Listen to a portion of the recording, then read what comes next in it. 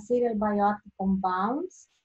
Um, let me introduce myself uh, at the beginning for those who I haven't uh, had the honor to meet. Uh, my name is Maria Papageorgiou, and I'm a professor at the Department of uh, Food Science and Technology at uh, the International Hellenic University in Thessaloniki, Greece. I suppose most of you have visited uh, our nice town, and you are all welcome to revisit. In case anybody wants to contact me, uh, here I mention my uh, email. Um, my main uh, field of interest is cereals. I'm a chemist by training and um, uh, that's about it. I'm, I'm involved in uh, international organizations of uh, cereal research, like the International Association of Cereal Chemists and Technologists, the ICC, the Cereals and Grain Association, uh, former AACC. Uh, so um, I'm trying to follow all the developments uh, regarding my field of research in a worldwide environment. I see I have a, okay, a message in the chat room. So we can, it was from Zoe that informed me that we can start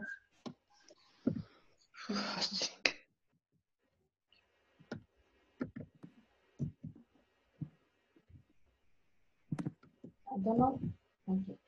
So uh, this is an overview of our uh, of my presentation uh, today. Uh, first of all, we're gonna um, I'm gonna go, uh, do an introduction on uh, cereal fiber. What is a cereal fiber? Uh, I will introduce you to the problem of uh, the definition of dietary fibers and the analytical methods employed for the measurement of dietary fibers. And um, then we're gonna see fibers isolated from cereal grains. Uh, see how this uh, content of fibers uh, differentiate among grains and milling fractions um, also, we're going to talk about the bioactive compounds that are, uh, that are associated with the cereal complex. And um, the contribution of uh, uh, these uh, uh, grains and uh, milling fractions is a guideline daily amounts proposed by EFSA and uh, other international organizations. The second part uh, will be on uh, health challenges, uh, the uh, current uh, non-communicative diseases, I will introduce you the problem of the overweight, obesity, diabetes, cardiovascular diseases, and colorectal cancer. And then we're gonna see how the cereal fibers can um, uh, can uh, apply what's the contribution of cereal fibers in fighting uh, those diseases. Uh, we're going to talk about the EU approved health claims uh, for cereal fibers and the official recommendations, which we'll see that there is a, a great variation among countries on what is the amount of uh, official recommendations from fibers and uh, cereal fibers in specific. Uh, then we're going to introduce some of uh, the systematic reviews and meta-analysis, uh, the results about uh, the health effects of cereal fibers on our uh, health, on human health. Um, then the, on the fourth part, we're going to talk about how to increase the intake of cereal fiber. So the message will be choose whole grain foods versus refined foods and then we're gonna uh, close but by some uh, concluding uh, remarks. Is this okay? Yeah. Okay. So uh, first we talk about uh, the cereal species and uh, what are the cereal species. There are some major cereal species belonging to the Gramineae family uh, uh, comprising of uh, wheat, rice, barley, maize, rye, oats, so millets, and sorghum. and then uh, uh, and also triticale should be in the main uh, cereals, and then some minor cereals like uh, teff, canary seeds, Job's tears, fonio, wild rice. They all, one in this presentation, when we talk about cereal species, we will talk about all of those uh, shown on in the uh, uh, presentation, along with uh, the so-called pseudo cereals uh, comprising of uh, amaranth, buckwheat, and quinoa grains. Okay, so there is a great variation of cereal species. Um, and uh, they all contribute with their uh, cereal fiber in our health. So uh, I was uh, talking about grains. So this is a typical uh, wheat grain. Uh, the grains of the wheat grain and all, most cereal grains comprise of uh, three parts of uh, the, the starchy endosperm, the inner part of uh, the grain, of uh, the germ, which is uh, uh, on the one end of the grain, and then is the bran, which comprise the outer part of the grain, comprising of a multi-layer in a multi-layer content uh, mainly uh, from uh, the aleurone layer, the testa, and the pericarp, starting from the inner layers to the outer layers. Okay, so as we see, if we see on the components that we can uh, find in the different parts of uh, the cereal grains, the three different parts, we see that there, are, there is a great variation. Proteins and uh, starch are mainly found in the starchy endosperm. The starch is only found in the endosperm. Then uh, on the germ, in the germ, uh, which is uh, which represents uh, only three percent of the grain, we can find mainly lipids, antioxidants, uh, vitamin A and B, minerals, sterols, and enzymes we found enzymes because uh, this is where the new plant will, uh, will uh, stem from. Okay, and when uh, there is a new life, there are there should be enzymes in there. So coming now uh, to the bran, we see uh, that the bran comprises to a greater to a great extent extent by dietary fibers. Okay, uh, dietary fibers we can that uh, are uh, soluble or uh, insoluble, like uh, xylans, uh, beta glucans, or insoluble dietary fibers like cellulose and lignin. hello, would you like to ask something? No, no, it's okay, Maria. Okay. Uh,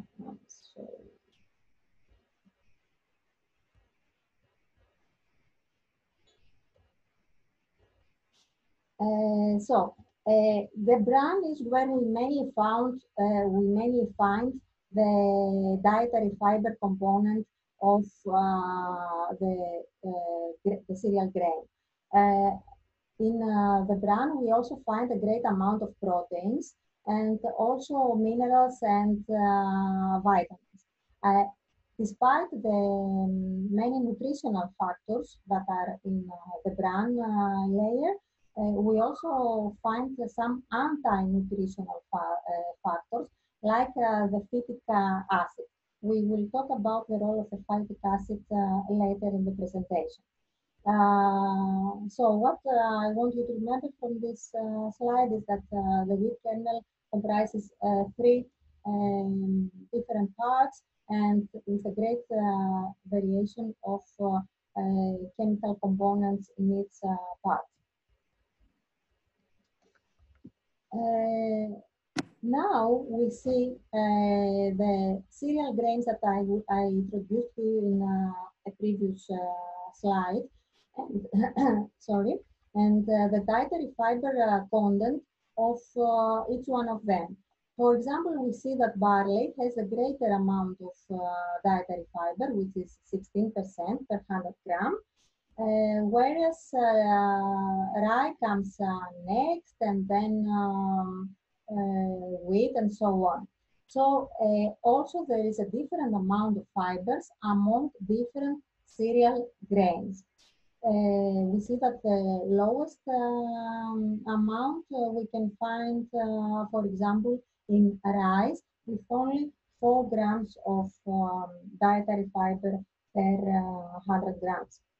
Uh, if you wonder where I uh, took this uh, data from, it's made worth visiting um, this link here.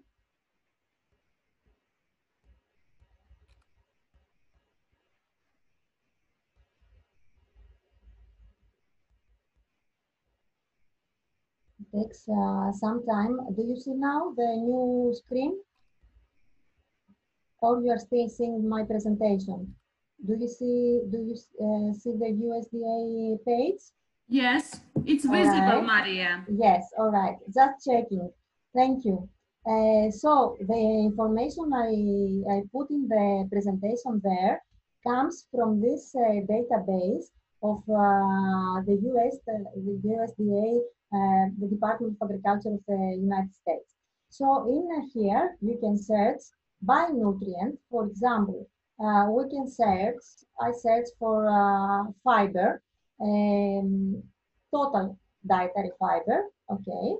And uh, I could uh, limit my search um, to soluble fiber or insoluble fiber. I can uh, leave it only for crude fiber. And then I select the group of um, uh, food I want to uh, search. And let's say cereal grains and pasta.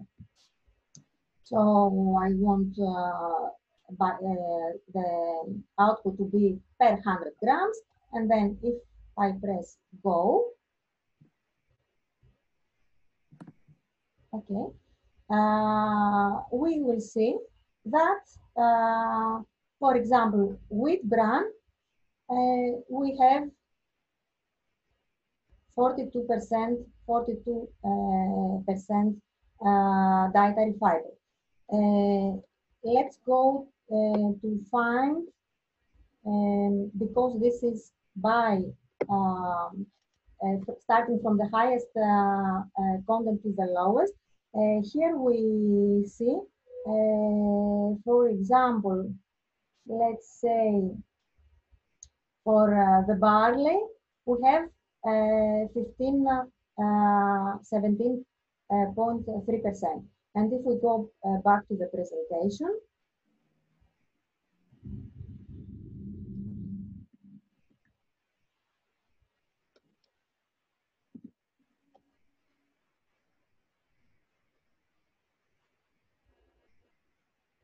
we see here the 16%, uh, it's uh, rounded to the next uh, to the next digit, the 16% of barley.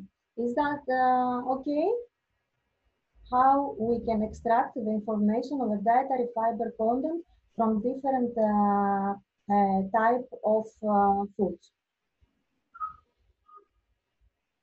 I think it's a, a nice, a valuable source that uh, we can also um, we can also use for our uh, lessons eh? and uh, and uh, put uh, make the students to search and also search by different uh, there is also branded foods there not only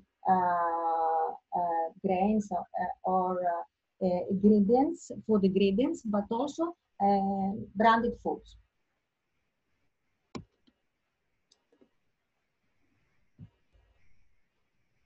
So uh, we have uh, talked about how the dietary fiber content uh, ranges among cereal grains. Um, and this we, we see it uh, on the first uh, line here. But what about how the dietary fiber content uh, the, ranges among milling fractions? Sorry. uh, for example, am- among the, uh, the parts of the wheat, uh, of the grain. Uh, for example, the bran, the starchy endosperm, or the germ. We see, uh, for example, for uh, wheat, we have in the bran 43% of uh, dietary fiber, while in the endosperm only 2.7%. So we now realize how uh, that the main part of the bran, of the, the bran is the source rich in dietary fibers for all grains. Uh, also, I would like to show you another uh, um,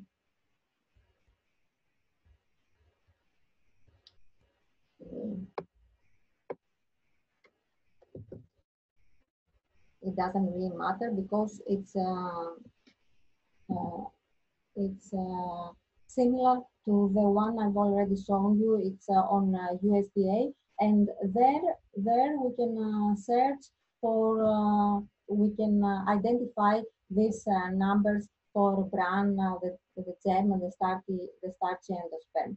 I would just like to show you uh, where this this uh, value uh, I uh, um, took them uh, from. So um, let's go to the guideline day, daily amount. The um, recommendation uh, uh, from uh, uh, the EFSA, is 25 grams total fiber per day. It's not confined to cereal fibers, but uh, total fiber. It can come from uh, fruits, uh, nuts, cereals, uh, all sources together. Mhm, mhm. Um, so, uh, what uh, these uh, uh, bars show us is that uh, the target of 25 grams, which is here, this uh, vertical line, is surpassed by um, consuming rye bran, uh, 100 uh, grams rye bran per day, or uh, um, wheat bran uh, of uh, um, the wheat bran, uh, 100 grams of uh, wheat bran per day surpasses the uh, this threshold of 25 uh, grams. Uh, on the other hand, we see uh, very uh, narrow bars for, for example, uh, rye flour or sifted oats, which is only here, or sifted rice, or even refined wheat. Uh, wheat. Uh, whole grain wheat uh, uh, uh, applies, gives us all, almost more than 40% of the GDA per day. Okay, so it is recommended that we consume whole grain in order to reach more easily the recommended uh, uh, allowance of uh, total uh, fiber. Um, recently, the EFSA launched a very easy tool. It's like a, a play, uh, an easy tool so we can find uh, dietary reference values uh, for uh, nutrient or its um, compound. This you can visit this uh, database uh, uh, with the different profiles. Let's say we're a scientist.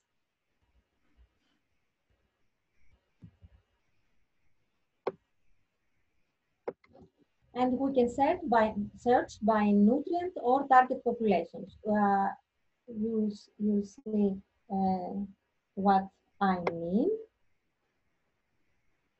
So we want to search for fiber. So we're looking in carbohydrates. We're uh, checking the dietary fiber box. And then we go to next page. So here we have the option to uh, show the results by um, uh, ages. Uh, for example, for infants, uh, for children, uh, for pregnant women or lactating women. Let's go to adults, both genders. And then we hopefully will see the 20, press next. And then hopefully here it is shown the 25 grams per day. Okay, this is a, an easy way to go through. Uh, if we do new search, uh, we can change the range of age, age range. Uh, or uh, if we start uh, the search from the beginning, we can search by nutrient like um, um, different metals, potassium, um, um how's it, uh, uh, phosphorus, uh, different vitamins. So we can search this database for its nutrient or vitamin. Okay, this is the DRV finder of the EFSA. Another tool that I normally, I usually employ in uh, my lectures uh, with uh, my students. Do you also find it interesting? Yeah, yeah, yeah, for sure. Yeah. Useful. Uh, Besides, people, uh, it's interesting, it is useful also. Yeah, it is useful and uh, uh students uh, uh, are very happy when they go through it and um, discover different things by themselves instead of listening to a boring lecturer. Sure. So uh, what about uh, uh, bioactive compounds in wheat? the major group of bioactive components in wheat grain are terpenoids, namely tocopherols and sterols. the latter including also vitamin E and uh, different uh, phenolics.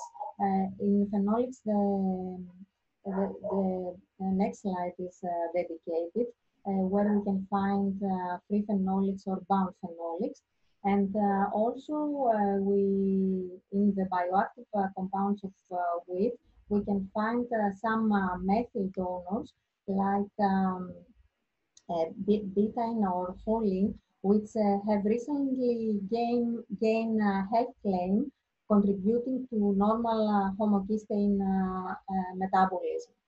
Uh, also, uh, vitamin, uh, vitamin, B is a, a, a major bioactive compound. And these results I'm showing you now is a table uh, from um, research that uh, was conducted in the frame of uh, the Health Grain project, um, which is, was a, a very important FP7 it's an old project, FP7 uh, project. And now there is the Health Grain organization that uh, I missed to tell you, to inform you that uh, I was involved in as a representative of my institution in the Health Grain organization.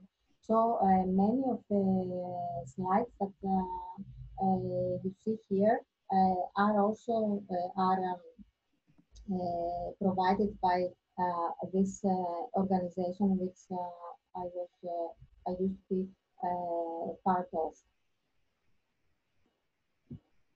So this is the situation with the phenolics, the major phytochemicals of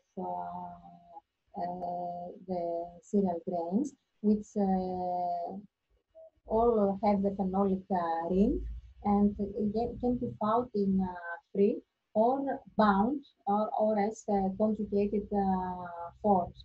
Bound compounds, um, let's start from the free compounds, uh, are taken up uh, by various degrees and absorbed. Uh,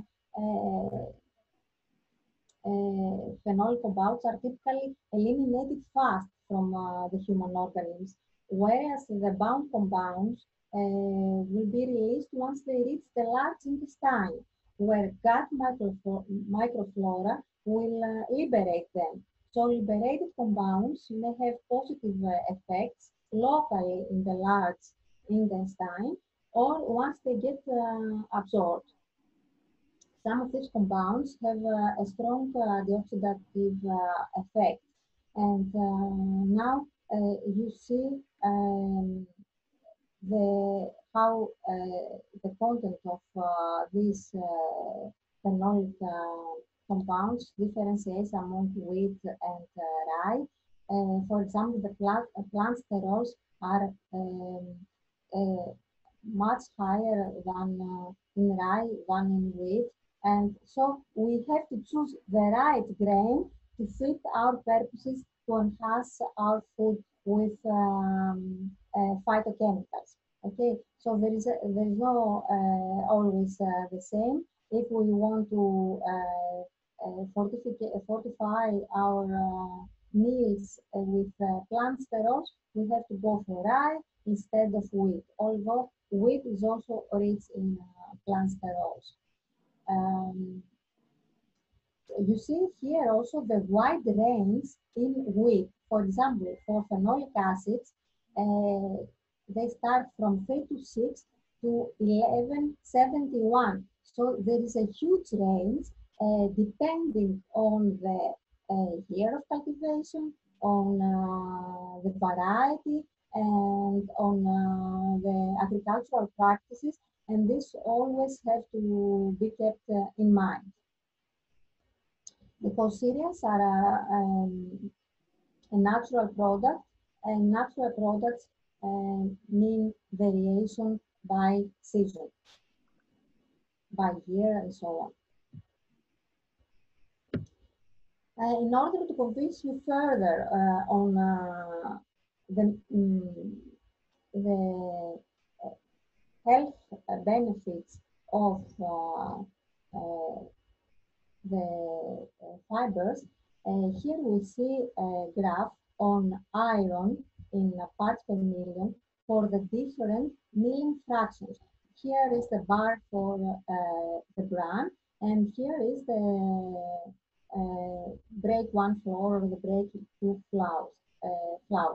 So you see how much greater is the iron content provided by the bran from uh, the cereal grains. The same trend is also um, followed for uh, phosphorus. Uh, bran flour is uh, very rich in phosphorus also. So when we we mill uh, the wheat and we confine our products only to refined uh, wheat, we are in this area here, whereas where when we enrich our products with the bran, uh, we will be somewhere here in uh, uh, in this area because of course we are not only consuming the bran on its own, but a whole grain flour.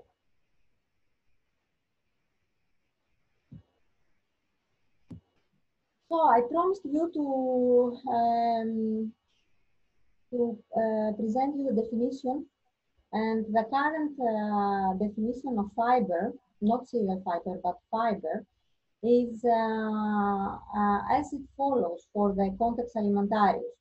Dietary fibers means carbohydrate polymers with 10 or more, more mon monomeric units, which are not hydrolyzed by the endogenous enzymes in the small intestine of humans and belong to the following categories.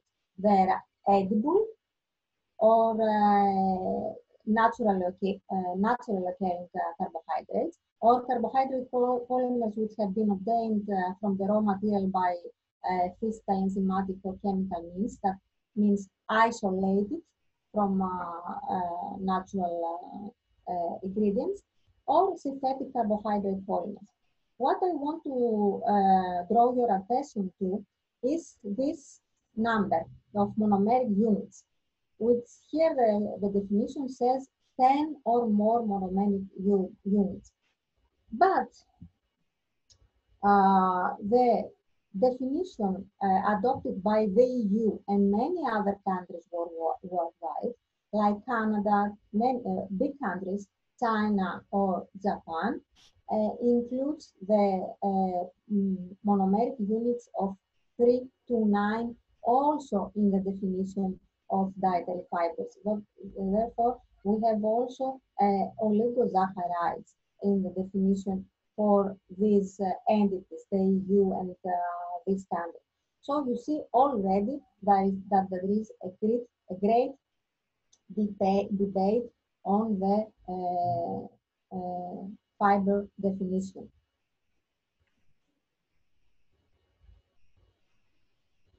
And uh, the codex uh, provides for this uh, differentiation uh, by mentioning in, the, in, in its definition that decision on whether to include carbohydrates from 3 to 9 monomeric units should be left to national authorities. So it's not, uh, um, it also provides uh, for this. Uh, it gives the liberty to countries to decide uh, if to include uh, uh, 3 to 9 polymeric units also. What we need a, um, a fiber definition? What what do you think we need a fiber definition for? What, why is it important to have a common fiber definition, which it seems that we don't have a common fiber definition. But what would be the implications of uh, definition? As you may imagine, uh, it uh, once we define something, we can also develop a method to measure it. It's a, another thing to measure 10 or more monomeric units, and another thing to measure three or more monomeric units. So you see the results can be uh, different. So we need a common definition to uh, set a common methodology for measuring the, the fiber content. Uh, it also serves uh, food labeling okay, uh, what will uh, we mention on uh, the table of contents for the on its food. Um, also, it will it is very important for trade and also for research because as uh, scientists uh, we have to uh, set up a common language um, in order to harmonize um, between uh, ourselves.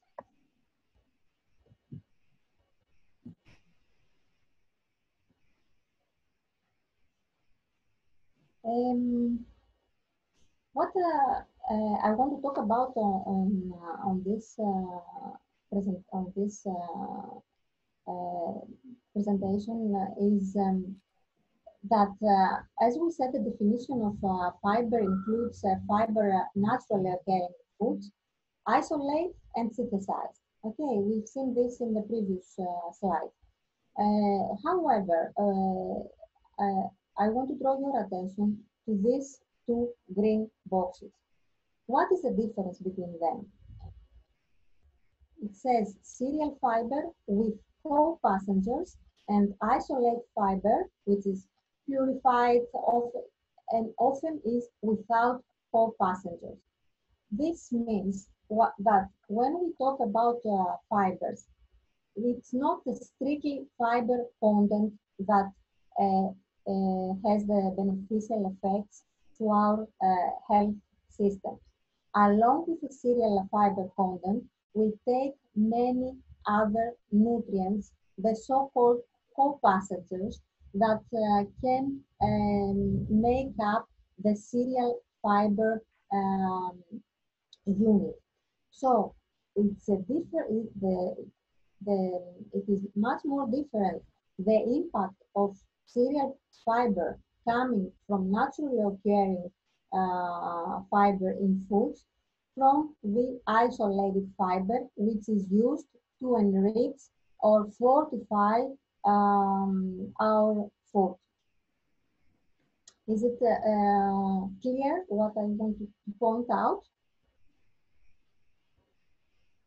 Yeah, yeah.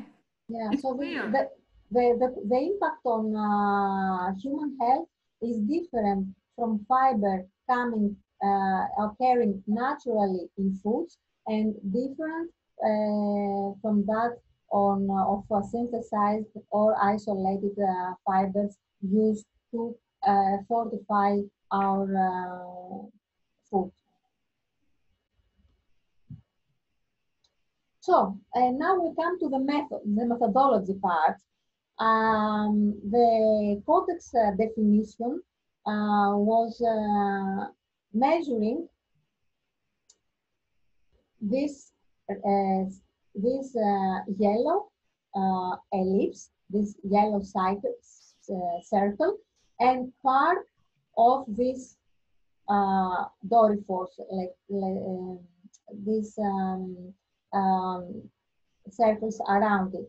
So uh, with the, the old uh, method, 985.29 uh, or 99.1.43, we were only measuring part of the resistant starch, this part here, which is inside the yellow circle, or part of the pectins or arabinogalactans, or part of uh, the inulin and uh, fructooligosaccharides. Uh, none of the galacto-oligosaccharides like uh, raffinose or uh, stachyose and part of the poly uh, polydextrose. Um, Fibersol is a brand name of uh, an isolated fiber from wheat. So the new integrated method is all, all these together. Okay, so with the new integrated method, new is is uh, is relatively new, is all, more than 10 years old now, but uh, in uh, uh, in terms of there is still a debate on whether it is the most accurate one. So what uh, I would like to you to know is uh, that we have uh, passed from the old methods to the integrated procedure and the AOAC method uh, 2009. No, uh, not that this method, this old method is not uh, applied anymore. because uh, the old method uh, I was talking about, uh, you about, the confined circle, measures soluble dietary fiber and insoluble dietary fiber. Okay, the new method, uh, it makes a differentiation between high molecular weight dietary fibers and low molecular weight uh, dietary fibers separately. You know that uh, the molecular weight is um, a crucial uh, a crucial factor that uh, um, differentiates the functionality of uh, the fiber. Solubility is one thing, but also the average molecular weight, high or low, uh, is also a determinant in the functionality of the dietary fibers. So it's from uh, it's, in my opinion, it's uh, rather complicated as uh, it is now. so far in the presentation related to the definition and the methodology for measuring and the classification system. But uh, this is not uh, still enough because uh, we have a new recommendation by FAO, the Food and Agricultural Organization, uh, that uh, proposes to, uh, to categorize dietary fibers, whether they are fermentable or non-fermentable. So, fermentable in uh, the colon from the microbiota that uh, is often uh, in our uh, colon system. So this is a more recent uh, classification, uh, whether uh, which separates dietary fiber based on whether it can be fermented by the microbiota in the large intestine or uh, not.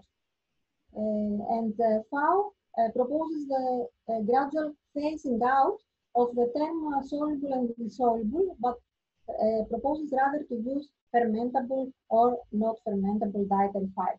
So as you see, it is a real mess. I couldn't describe it in, an, in another words.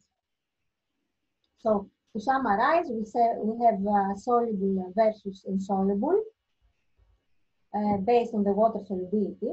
Okay, this is something I need to uh, uh mention, water solubility.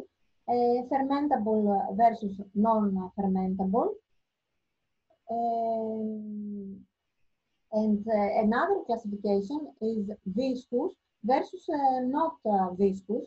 It, it is perhaps the least used distinction and arises from the fact that there is some evidence support uh, that certain health benefits of dietary fiber could be related to its viscosity, whether they are viscous or not uh, viscous. And in this table here, we can see uh, the um, values measured by the old method to the ones measured by the new method of 2009. So we see for bread 4.4, 4.5 as opposed to 6.6. Uh, uh, for pasta 6.7 to 8.6. So the,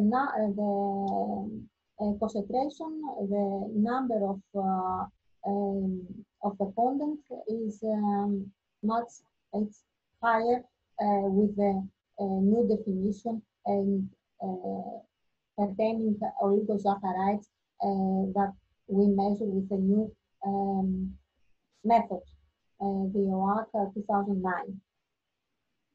So you see also among the scientific community, uh, if we use this method or this method, we get different results.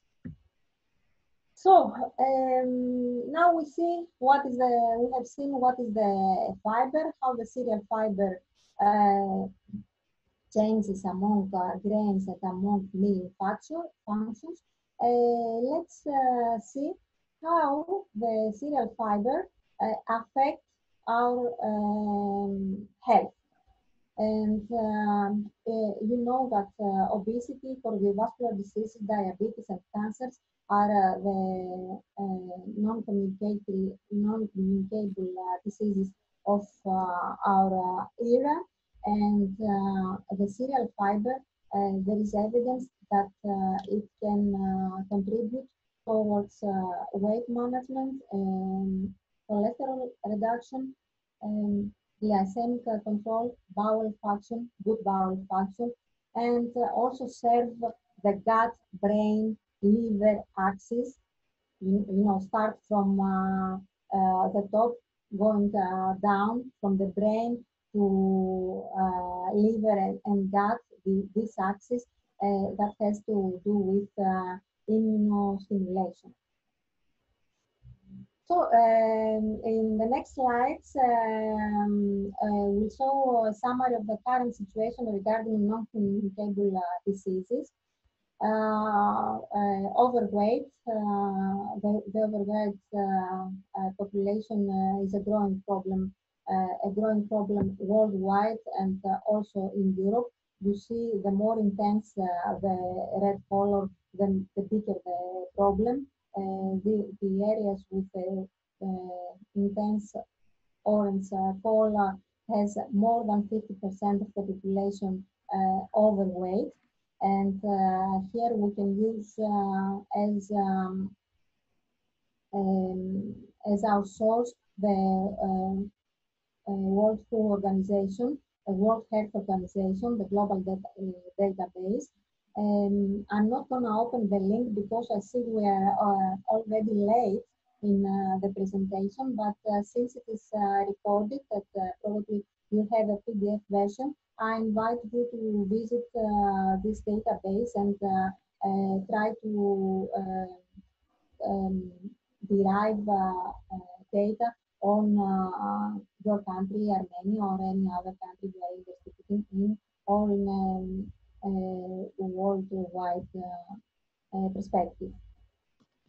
Uh, coming to more seriously, a more serious uh, problem, the obesity, which is a major risk factor uh, of, uh, for diabetes cardiovascular disease may be cancer, there the body mass index is greater than 30%.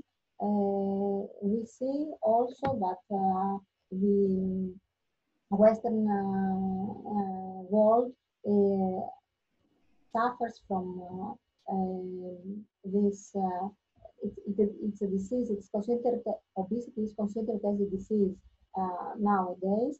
And uh, again, the countries uh, with the dark red color are the ones that um, host more than 50% of the population which are obese. Uh, diabetes, uh, this is a, a, great problem also because uh, there's a growing uh, national prevalence and uh, the predictions uh, are very are not uh, so optimistic. For example, in Europe, uh, we expect uh, an, um, an, increase of 16% uh, from 2017 to 2044, but for uh, areas like the Middle East, this increase is expected to uh, reach 72%. So you realize now how serious the problem will be as new parts of the world join the uh, diabetes uh, problem. And also for the for the African uh, region, this uh, increase is one is expected to be one five, six, uh, 156 uh, percent. Um, need, uh, I think I need to say no more about the increasing problem of the diabetes. Uh, and uh, also the cardiovascular disease, uh, you can see here that the main cause of um, cardiovascular of death for women is uh, coronary heart uh, disease. Uh, and cardiovascular diseases causes 47% of all deaths in Europe and 40% in the in the EU. What? Why did ha we have uh, drawn the picture of uh, the non-communicative diseases um, with uh, these latest slides?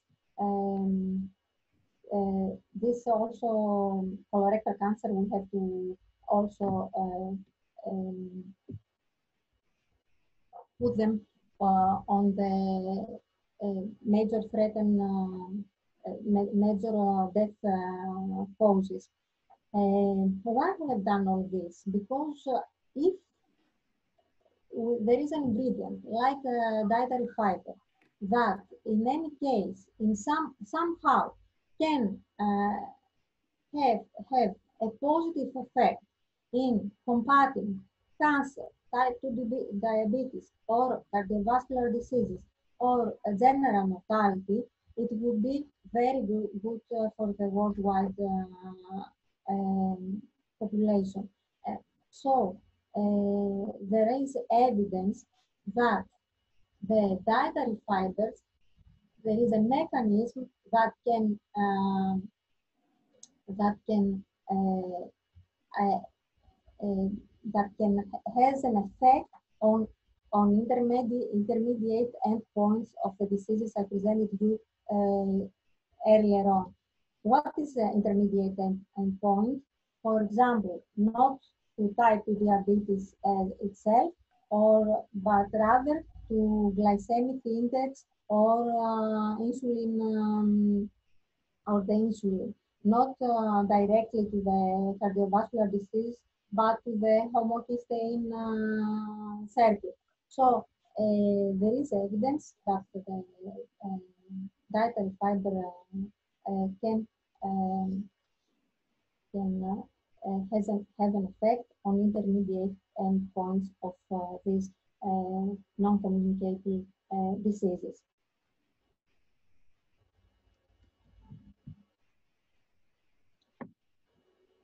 So here we summarize the physiological function of uh, fiber in, in, fibers in general.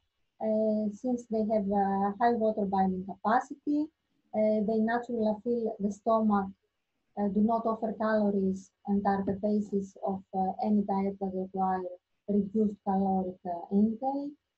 they affect the metabolism of carbohydrates, redu reducing the risk of diabetes, and they inhibit the absorption of cholesterol from the body and positively modulate the metabolism of bile acids. Uh, therefore, there are uh, health effects of uh, cereal uh, science, the cereal fiber, and to this end, the EU has approved health claims on the cereal fibers. There are also official recommendations by nutritional societies, and uh, all these are supported by systematic reviews and uh, meta-analysis.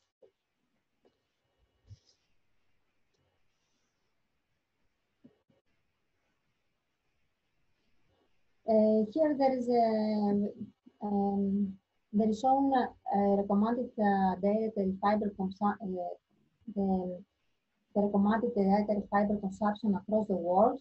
Uh, we have seen here that that we have seen that uh, for EFSA and the full is 25 grams. Um, EFSA points out that 25 grams is adequate, is adequate for normal laxation in adults.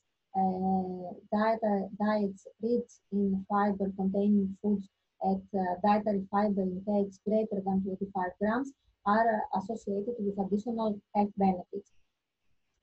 This uh, is uh, for dietary fiber regarding um, not without differentiating between cereal fibers or not cereal fibers. Um, but we see uh, for USA, uh, for example, the recommended intake can be greater. And the Nordic, uh, and this is for the Nordic countries also, and also for uh, Germany and uh, the Netherlands, which the recommendation is for uh, more than 30 grams per day.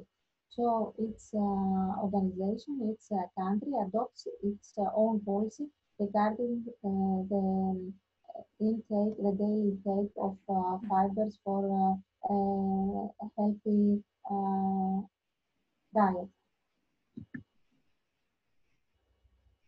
Uh, concerning the EFSA and the European uh, organization, uh, all uh, of this is mentioned in uh, Regulation 1924 of 2006, where there it says that so a food can be labeled as a source of fiber if it contains at least 3 grams per 100 grams of uh, um, of uh, the food as it is um, uh, consumed. A food can be labeled high in fiber if it is, it has, it contains more than uh, uh, six grams per hundred gram of uh, food. or there is also the um, option to label a food with in, with increased fiber. these foods must be at least a source of fiber and um, to contain at least more uh, than 30% of fiber than a similar product, than the counterpart uh, uh, in the market. this is what EFSA has decided, but Codex, Codex the Codex Alimentarius, um, differentiates also in this. Uh, it has an additional uh, option of 10% and 20% of daily reference values per uh, serving for a source or a high in fiber uh, food. So uh, what we what, what is uh, the conclusion we can draw from that? Um, the world needs harmonization in uh, definition, in recommendations, in uh, methodology um, there is a register of uh, health claims for different foods and there is a database on this uh, that is uh, supported by EFSA. Uh, I invite you to visit uh, this register of health claims by following this uh, link, uh, where there we can uh, search cookies.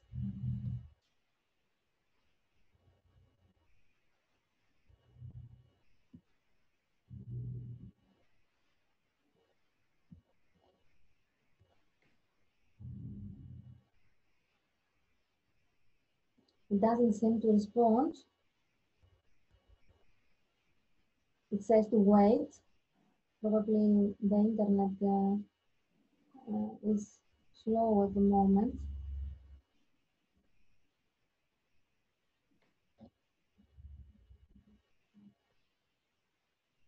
Uh, okay.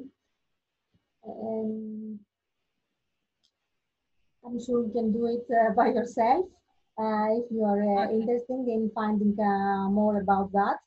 Uh, you can search on the um, health claims that uh, are uh, recognized at the EU level for different food components.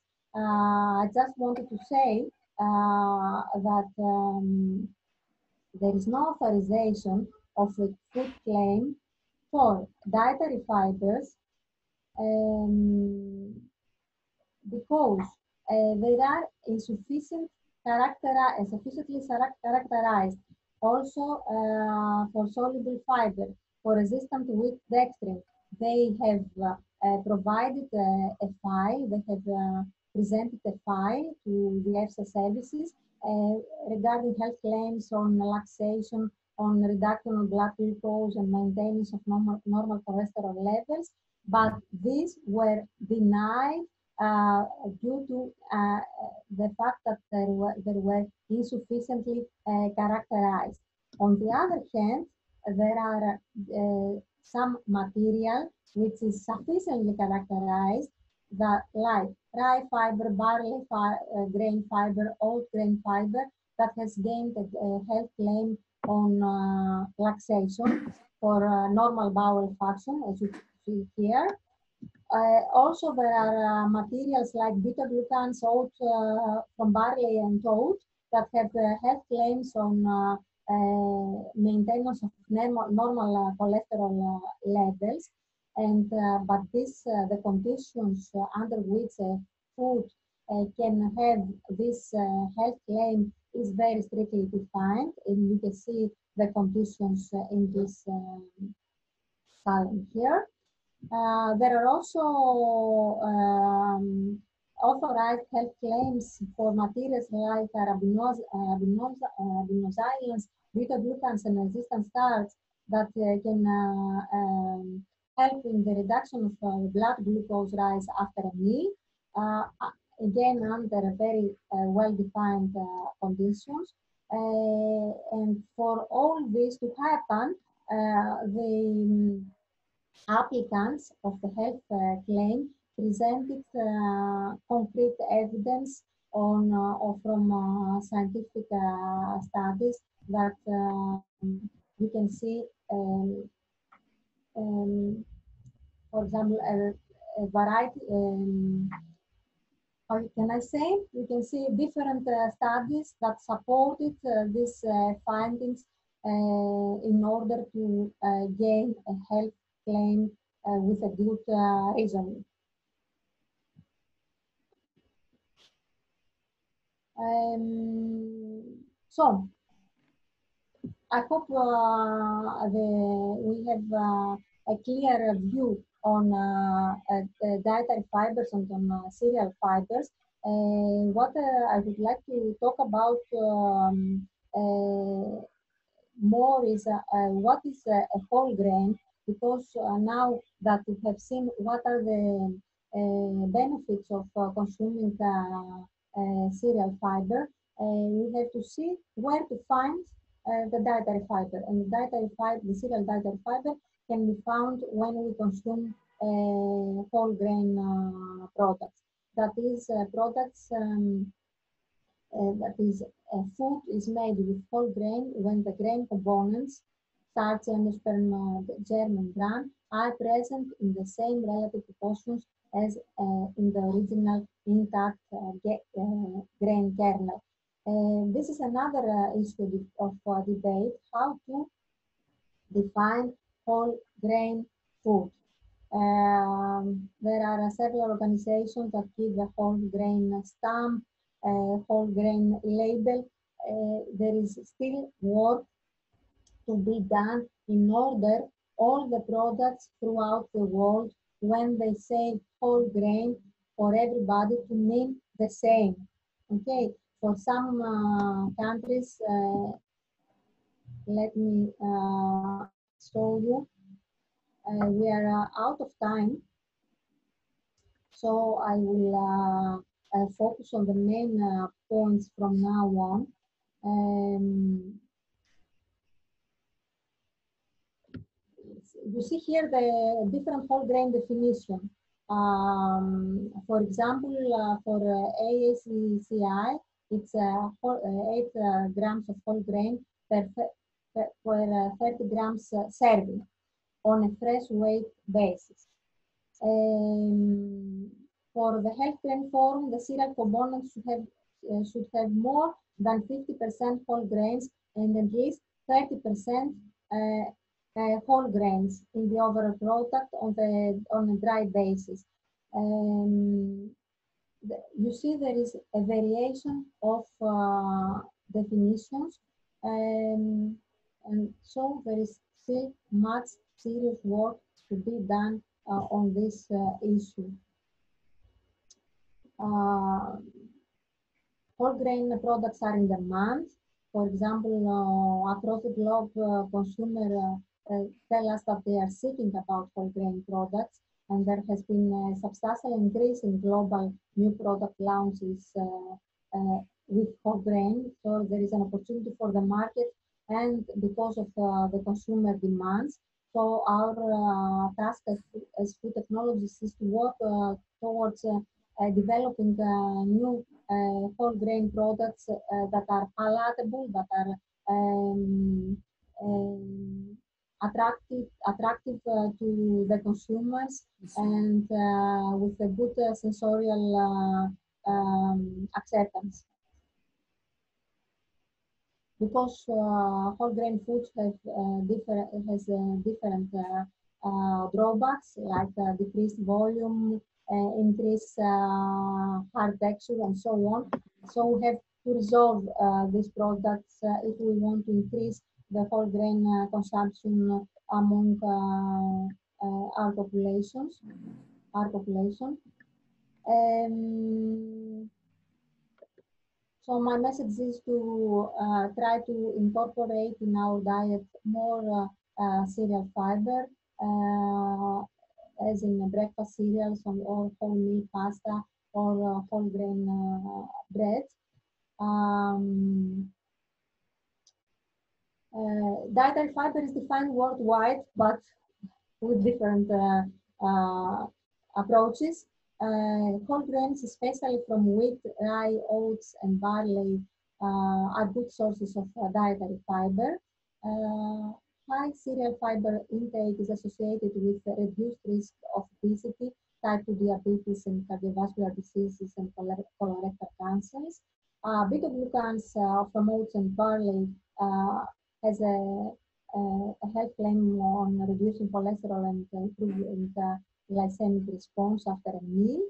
Uh, among the dietary fiber sources, cereal fiber shows stronger beneficial association uh, with uh, non-communicative uh, non-communicative diseases.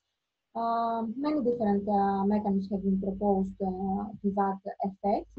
and the last but not least, I would like to inform you about a new um, uh, a new, the whole grain initiative um, that uh, everybody of you is um, uh, invited to get involved. if you are interested, you, um, you can visit the whole grain initiative that is led by the International Association of Cereal Chemists, the ICC. I, okay, this is the um, uh, web page of uh, this initiative. Anybody can be uh, uh, involved. And uh, I would like to let you know that uh, we have set an international day on health grain consumption. And this is the 19th of November of uh, year. So you're welcome to organize uh, events and uh, inform us about uh, that through the whole grain initiative on that day that is coming soon. More you can, if you are interested in that, um, please visit um, the web page. So uh, that's it uh, for now. I, I'm, I'm sorry to keep to keep you for um, uh, for some more uh, minutes. That is uh, uh, 10 minutes more. Uh, I am at your disposal if you need, if you have any question that you would like to, um, to ask. Don't worry about more time, Maria. It, it, very, Uh, uh, very interesting. Particularly uh, in my case, it is interesting uh, concerning structure and impact on healthy life. It, it was really interesting. Thank you very much. I hope uh, helped. And uh, this, um, you can use this uh, presentation as a reference to do your own uh, uh, literature research also. Is it possible uh, to send us uh, via email or not?